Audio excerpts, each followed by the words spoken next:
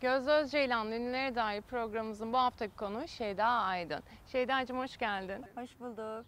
Ee, seni tanıyabilir miyiz? Ben oyuncuyum.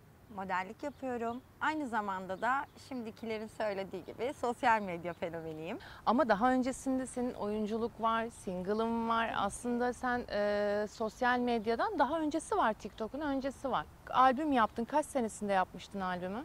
Ee, 2014'te Serseri şarkımı yaptım. Ona bir klip çektik. Aslında güzel de giden bir şarkıydı ama ben ticari amaçlı yapmadığım için çok üzerinde durmadım. Daha sonra tabii o beni tatmin etmedi. Çok da hoşuma gitti. Şarkı söylemek, klip vesaire. Sonra 6 şarkılık bir maxi single yaptım. Ee, onun da 2016'da yaptım. Ee, bir tane şarkısında klip çektik. O da güzel yayınlandı. Sonra ben e, herhalde egomu tatmin ettim ve bıraktım. Şey, e, oyunculuk nerelerde, hangi dizilerde rol aldın ya da Şimdi ben tiyatrocuyum aslında. Sadri Alışık Sanat Merkezi mezunuyum. Tiyatro bölümü.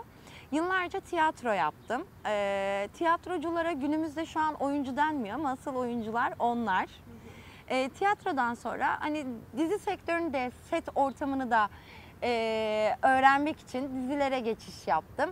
En son da Kuzey Yıldızı'ndaydım. O ne güzel.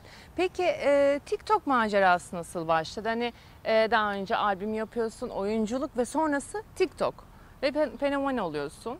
Şimdi şöyle oldu. e, sosyal medyayı çok aktif kullanan biri değildim. Ben de herkes gibi fotoğraf, video falan bir şeyler atardım storyler. E, kızım beni teşvik etti. Anneciğim dedi bir uygulama var ben bunu kullanmak istiyorum. Sonra uygulamaya girdim baktım. Dedim kızım hani tam senlik bir şey değil, yaşına uygun bir şey değil. Daha çok yetişkinlerin kullandığı bir platform. Senlik bir şey değil dedim ve ben hani uygun görmüyorum bunu senin kullanmanı. Sonra ağladı falan. Eşim dedi ki sen de gir dedi. Birlikte bir şeyler yapın. Zaten sen oyuncusun. Hani çok da farklı bir şey değil. Ha, sahneye çıkmışsın, ha, evden bir şeyler yapıp insanlara izletmişsin. Dedim tamam ben bir önce tek başıma bir kullanayım. Öylesine birkaç video çektim. Sonra kızımla birkaç video çektik. Hani sırf o mutlu olsun diye. Sonra bir gece bir video attım. Sabah bir kalktım. Herkes beni tanıyor. Hangi videoydu bu? Çay var çay diye bir videomuz vardı.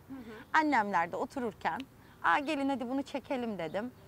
Sonra e, yeğenim ve kızımı yanıma aldım. Videoyu çektim. Gece saat 11'de paylaştım. Sabah kalktığımda videoyu milyonlar izlemişti.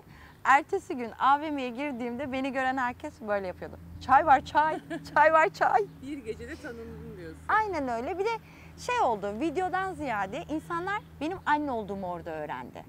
Profilime girip baktılar. Daha sonraki videolarımı takip ettiler. Ve benim çocuklarımla arkadaş gibi olmam, onlarla eğlenebilmem onların çok hoşuna gitti. E Türkiye'nin de buna ihtiyacı var zaten. Kesinlikle. Aile profiline ihtiyacı vardı. Sanırım ben oradaki o eksikliği tamamladım. En beğendiğin TikToker kim Şeydacığım? Yani birçoğunu beğeniyorum aslında. Güzel içerikler üretiyorlar ama kendime en yakın bulduğum ve e, realde de görüştüğüm Ece Mumay var. Videoları çok hoşuma gidiyor. İnanılmaz doğal, samimi, içten, sıcak ve hani e, çocuklara da e, yanlış gelmeyen içerikler ürettiği için en beğendiğim Ece Mumay. Peki e, şöyle bir soru sorayım sana. Kiminle e, video çekmek isterdin TikTok'ta? Kiminle video çekmek isterdim? Bu yine TikTok çevresinden mi yoksa dışarıdan? Dışarıdan da olabilir. Mesela Loredana'yla bir e, video çekmek isterdim. Kendisi de TikTok kullanıcısı zaten. TikTok'larını da takip ediyorum. O da çocuğuyla, ailesiyle bir şeyler yapıyor, içerikler üretiyor. Ve aynı zamanda çok beğendiğim bir sanatçı. Duruşu, tarzı. Kendime de yakın buluyorum. Peki TikTok'un e, hangi özelliğini değiştirmek isterdin? Mesela şu özellik olsaydı dediğin bir özellik var mı? Yani özellikleri zaten TikTok kendini sürekli güncelleyen bir uygulama olduğu için özellikleri değil ama elimde olsa bazı hesapları direkt kapatırdım. Değil mi? Bence de ben e, baktığımda gerçekten bazı hesapların kapanması lazım. Kesinlikle yani evet özgür bir ülkede yaşıyoruz. Herkes istediğini yapabilir ama sizin özgürlüğünüz beni rahatsız etmediği sürece, senin özgürlüğün benim değer yargılarımın çöp olmadığı sürece. Şimdi ben evde çocuğuma anlatıyorum. Örf adetlerimizden bahsediyorum, değer yargılardan bahsediyorum, ahlak yargılarından bahsediyorum. Ama çocuk sosyal medyaya bir giriyor, bunların hiçbirini göremiyor. E tamam siz ar damarınız çatlamış olabilir. Ben gerçekten bunu söylüyorum. Bazı değerlerinizi kaybetmiş olabilirsiniz ama sizi izleyenlerim var. Ve linç edilmek hoşlarına gidiyor biliyor musunuz? Evet evet seviyorlar. Ben e, TikTok'u yeni kullanmaya başladım. Yani aslında video da çekmişliğim yok yani hiç anlamıyorum öyle şeylerden. Ama merakımdan TikTok açtım e, Gözde Özceylan diye. Şöyle bir şey, bazen canlı yayınlara bakıyorum. Ya 80 yaşında nenelerimizin o hallerini gördüğümde ve gecenin bir yarısı yani benim baktığım hani böyle geç saatlerde bakıyorum mesela hani çocuklarımı uyuttuktan sonra baktığımda İnanın utanıyorum. Yani bizim kendi babaannelerimizi ya da anneannelerimizi görüyoruz, biliyoruz yani kendi şeyimizde. Bilmiyorum bana çok şey geliyor. E bunların hoşlarına gidiyor linç edilmek. E biz de bunlara prim veriyoruz. Maalesef veriyoruz yani. Bunların hesaplarını bekliyoruz. Bir video atsın da bazı yorumcular da orada hayatta olan öfkesini çıkarıyor. Mesela çok iyi bir şey de yapsan e, seni linçlemek, sana kötü bir şey söylemek onun egosunu tatmin ediyor, hoşuna gidiyor. Yani elimde olsa birçok hesabı kapatırım TikTok'ta. Ve bir şey itiraf edeyim ben keşfete girip video izlemiyorum. Benim sadece takip ettiğim birkaç hesabım vardır. Girerim akımlara bakarım. Hani ne akım neler çekiliyor şu anda. Onları çekerim, videomu atarım ve çıkarım. Ee, tekrardan bir single çalışması var mı? Var. Evet güzel bir çalışma var ama bu şöyle bir şey zaten sosyal medya yokken TikTok yokken ben bu e, bunu tecrübe ettim. Hani kimsenin yokken benim şarkım vardı. Ben e, yine ticari amaçlı bakmıyorum. Yine hobi olarak e, takipçilerim çünkü sürekli üretmemi istiyorlar. Benden bir şeyler bekliyorlar. Onlar çok istediği için ben de yeni güzel bir şarkıyla karşılarına çıkmaya hazırlanıyorum. Hayırlısı olsun şimdiden çok sevdim. Teşekkür ederim. Düet yapmayı düşündüğün bir sanatçı var mı? Var. Serdar Ortaç'la düet yapmayı çok istiyorum. Çünkü çocukluğumun sanatçısı ve hayran olduğum bir insan. Hatta e, geçen hafta beraberdik birlikte. TikTok'ta çektik onunla.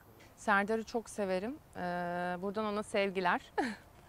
Peki şey soracağım. Sihirli bir yeteneğin olsaydı neyi değiştirmek isterdin? Ne yapmak isterdin? Sihirli bir yeteneğim olsa bir kere e, çocuklara ve kadınlara yapılan şiddeti durdururdum. Yani belki de tek buna kullanırdım.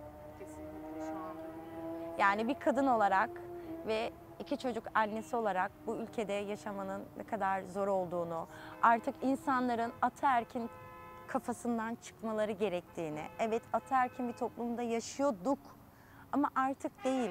Kadınlar da erkeklerin yapamadığı birçok şeyi yapıyor. Kesinlikle. Artık kadınlar yapıyor. Bunu kabul edelim. Yani eskiden diye annelerimiz, anneannelerimiz zamanındaydı. Tamam kadın oturur evin işini yapar, erkek çalışır, para kazanır, getirir.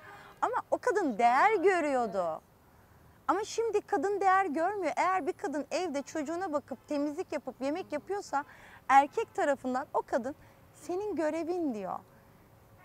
Ve o kadına değer vermiyor. Ama dışarıda gördüğü çalışan, ayakları üzerinde duran kadına böyle bakıyor. Kesinlikle çok doğru söylüyorsun valla katılıyorum. Peki kendindeki e, en belirgin üç özelliğini söyleyebilir misin bana? Tabii ki. İnatçı olmam. Çok kararlı olmam. Yani bende R yoktur. Bir şeye karar verdiğimde sonuna kadar giderim ve çok hırslıyım. Peki top 5 listen var mı? Var. Hangi şarkılar mesela sürekli dinlediğim? E, bu aralar e, TikTok'ta da çok videosunu çektiğim için Ece Mumay Peri var. E, favorim o. İki Demet Akalın bir daha. Çok eğlenceli geliyor şarkıyı dinlerken. E, akşamları özellikle bu Yener Çevik miydi? Yıkıla yıkıla. Onun altyapısı hani şeyden geldiği için böyle kulak aşinalı olduğu için sözlerinden çok bir şey anlamasam da birkaç kere dinliyorum mesela gün içerisinde. O var. Sonra kim var? Üç oldu değil mi? Evet. Kim vardı ya? Dinlediklerimden vardı aslında. Kurtuluş var. Sevmedim deme bana bana. evet, bayağı Mesela bu da. TikTok'ta akım oldu. Videolarını çektik. Ee, dört oldu. Beşinci kimdi? Şey Yalın var Yazgül'ü. Yalın evet olabilir. Radyolarda şu an Çok sürekli çalıyor. E, formunu nasıl koruyorsun? Biliyorsun ilk geldiğinde sana şey dedim çok zayıfsın dedim. Evet. Hani gerçekten e, videolardakinden çok çok zayıfsın. Nasıl formunu koruyorsun bu şekilde? Şimdi ben yıllardır ekmek tüketmiyorum. Ekmeği çıkardım hayatımdan. Çocuklarıma da mümkün olduğunca ekmek tükettirmemeye çalışıyorum. Ee, ve oruç, aralıklı oruç dedikleri bir yöntem var. Yıllardır ben bunu kendime bir felsefe edindim.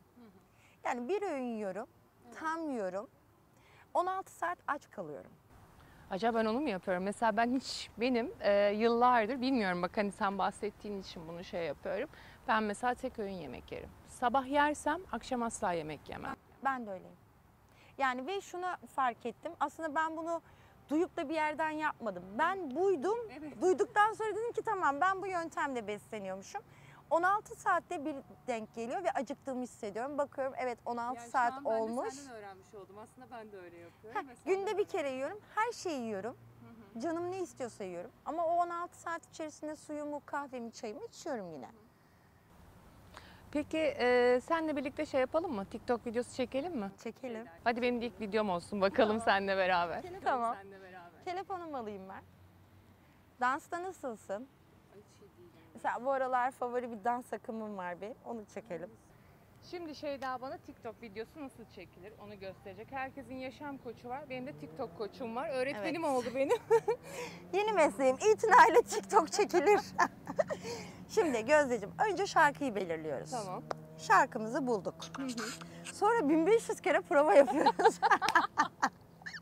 Bakalım ben ne kaç defa prova Şimdi ne yapacağım. yapıyoruz gösteriyorum. Önce şu. Şu.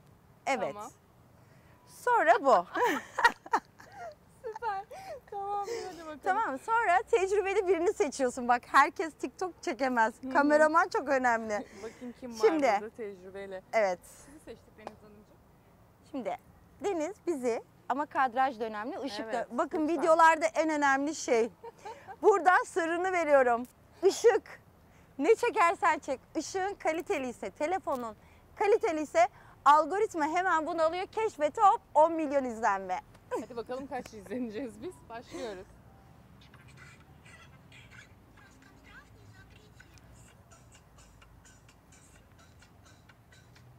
Bu. Bu. Oldu mu? Şeydancığım TikTok videosu nasıl çekiyorsun?